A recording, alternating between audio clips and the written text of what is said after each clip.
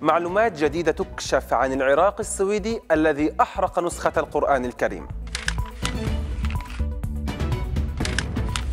سلوان موميكا متطرف عنصري ينفذ وعيده بتدنيس القرآن الكريم وتمزيقه.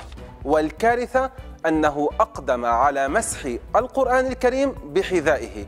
قبل أن يحرقه. معلومات تكشف لأول مرة عن هذا الرجل. ليبرالي ملحد ومتطرف من أصل عراقي له حزب قام بتأسيسه باسم الاتحاد السرياني الديمقراطي وعمل قائدا لفصيل مسلح في العراق باسم صقور السريان. يهدف لتحرير نينوى من تنظيم.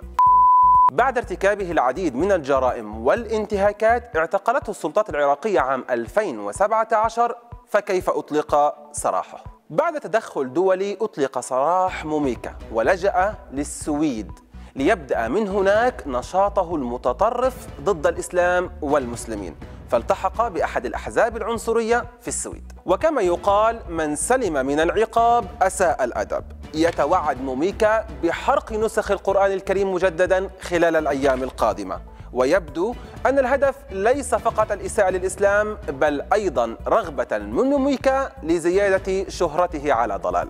هنا نأتي للسؤال.